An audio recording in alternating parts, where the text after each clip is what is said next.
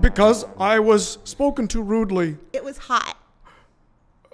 Oh, You have tannery skill. That's why I suggested you take tanning. I thought. You have to pee on the leather and leave it out in the sun for two Wait, days. And, okay. and you have to dress the part.